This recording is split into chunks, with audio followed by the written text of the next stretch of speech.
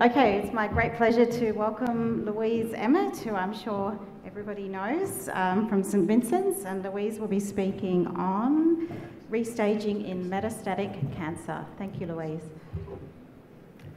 So thanks very much for inviting me to speak today, and a shout out to uh, everyone from St Vincent's Hospital, Sydney, um, here today. Um, I'm talking about restaging in metastatic prostate cancer, and I had a great family anecdote on clairvoyance, but Michael tells me I'm not allowed to tell that. I've just got to get straight on to business, so I'm going to do that. And I also have to say that I, um, these are my disclosures. Uh, and I also have to say that I've, i think I've stolen someone else's topic, um, so I'm sorry about that, Sydney, um, a little bit as well. Because I'm not going to just talk about restaging in metastatic prostate cancer. I also want to talk a little bit about high volume, low volume CHAARTED criteria today. So this is what we have at the moment for high volume, low volume uh, in, uh, in staging of metastatic hormone sensitive prostate cancer and also for treatment response um, in metastatic prostate cancer for systemic therapies. Because I have blind faith that PSMA PET is better we actually can't persuade our oncologists with blind faith. We need good science and data to show them how we can move across from PSMA, from bone scan to PSMA PET. Seems very obvious to us. If we have this PSMA PET and the bone scan both taken on the same day, we can tell total tumour volume, we can identify lesions, we're looking at tumour directly, we can look at lesions in bone, viscera or lymph nodes, and we get prognostic information on intensity. But we have to have criteria by which we can define that for our oncologists. We are starting to get some of this data. Uh, obviously, we have level one evidence for uh, the superiority of uh, PSMA PET over CT and bone scan from the uh, Pro PSMA study from Mike Hofman and team. Um, and this NICE study has done a direct comparison um, between bone scan and PSMA PET across the cohort of prostate cancer. And what it found um, was that 57% in this study, 57% of positive bone scan findings of staging bone scan were false positive. What that means for the patient is if we're using bone scan to identify metastatic disease, around half of them won't actually be metastatic disease, and we're potentially um, denying these patients the possibility of definitive cure, and these patients are going on to systemic therapies. So, why are oncologists still cleaving to CT and bone scan for high volume, low volume um, assessment in metastatic hormone sensitive prostate cancer? It's because of CHAARTED criteria. So, CHAARTED criteria are they use to, to define how to intensify and de intensify treatment. They use um, whether presence of visceral metastases on CT and also whether um, there are four or more bone scan of uh, lesions on bone scan in bone to define high or low volume. It means that they can decide whether a patient needs docetaxel instead of just ARPI and ADT in the hormone sensitive setting.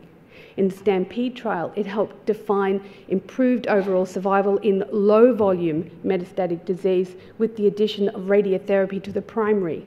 So they use it every day for their patients.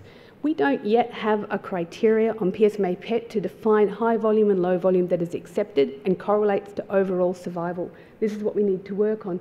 This work is um, starting. So this is the paper from Barbato et al. from Ken Herrmann's group in Essen that looked at total body quantitation and determined that CHAARTED criteria high volume was 40 mils of tumour on PSMA PET quantitation. But should we do it quantitatively? Should we have a visual criteria? We need to incorporate whether or not patients have visceral metastases, and we also need to incorporate the CT findings on PSMA PET into any criteria that we develop. So the onus is on us. We need to develop a criteria that our oncologists can use every day that correlates to overall survival so we can make that bridge between CT bone scan and PSMA PET.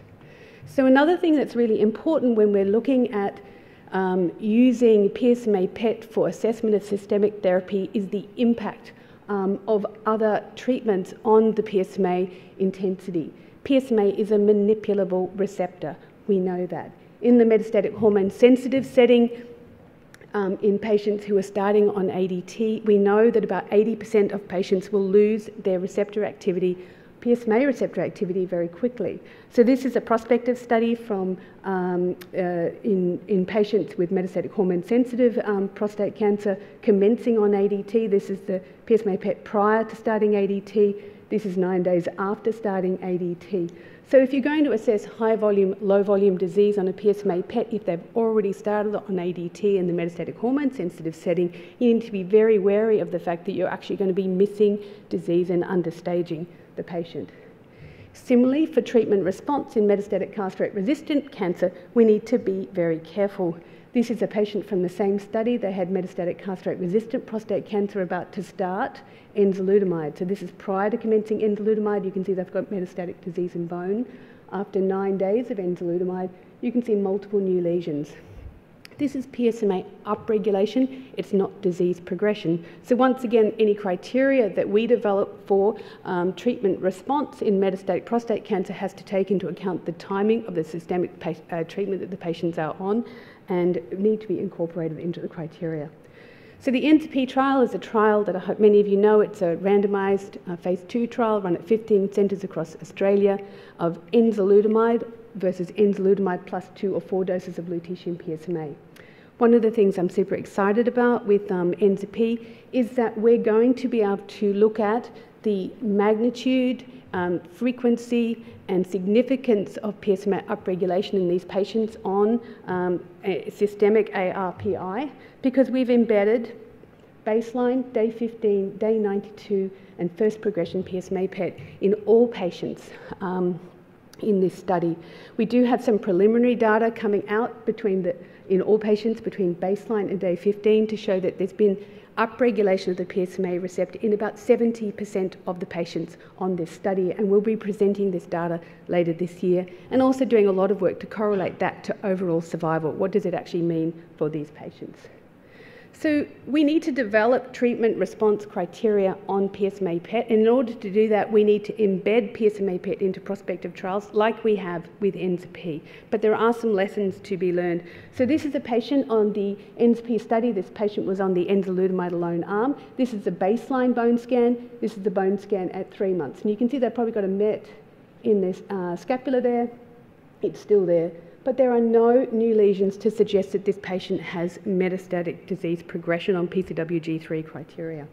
This is the PSMA PET at the same time point that the bone scan was done. And, you know, it's really quite different. So baseline, three months, this patient has multiple new lesions on PSMA PET. 100 new lesions on PSMA PET. We don't have a criteria yet for saying whether this is disease progression or not. So what happened to this patient is the clinician understandably said, looking at this scan, this patient has unequivocal progression. They took the patient off trial. They didn't do any confirmatory CT or bone scans, and this has impacted the ENZA-P trial very significantly. We have a positive PSA PFS, but when you look at our RPFS, this actually crosses. This is the impact of embedding PSMA PET because we have 35 patients who were censored on the enzalutamide alone arm who had disease progression like that patient who got taken off trial without confirmation on CT and bone scan. So we need to ask pharma to start embedding uh, trials. We need to start um, pharma to uh, start embedding PSMA PET into trials, but we need to find a way to do that safely. In order to do that, we need to come up with some standardized criteria for treatment response on PSMA PET for both for prospective trials and for clinical purposes. So, what criteria do we have? Ken Herrmann and Stefano Fanti about four years ago came up with the PPP trial, the PSMA PET progression criteria, uh, which was very similar to the 2 plus 2 that they use for bone scan, um, PCWG3 criteria. So, two new lesions classified as progression, or an increase in size of greater than 30%, also classified as progression. Or RECIP is lovely. So RECIP is a, um, a combination of quantitative change in volume and new lesions. And this was derived from a 124 bi-centre study in patients who were undergoing lutetium PSMA therapy. They embedded a baseline and interim PSMA PET at 12 weeks, and using that and correlating it to overall survival, they defined RECIP criteria as an increase in total tumour volume of 20%, plus new lesions as progressive disease, and a reduction in volume of greater than 30% as partial response. Doing that, they found that the overall survival between these patients was quite different. If these patients had progressive disease, their overall survival was eight months, versus if they had partial response, overall survival of 21.7 months. So encouraging, but difficult to do, uh, perhaps difficult to implement clinically, and we really need to think about what criteria we want to use. While we're thinking about it, we also need to think about criteria for treatment response for SPECT. It's looking very, very nice on a number of studies now for um, early, early response biomarker um, to lutetium PSMA. Um, so what we need to do is we need to develop guidelines. We need to develop guidelines that correlate to overall survival, that are easy to implement, that don't impact prospective trials, and that create bridges between what we have now, CT and bone scan, and, um, and PSMA PET. So we've got a lot of work to do. We need to define optimal PSMA PET criteria for high volume, low volume disease in metastatic hormone sensitive prostate cancer to guide treatment intensification decisions for our oncologists. They're not going to move until we do. We need to develop standardised criteria for treatment response with PSMA PET. We need to do this in a dynamic and harmonised process and not impact current clinical trials, and that's quite difficult.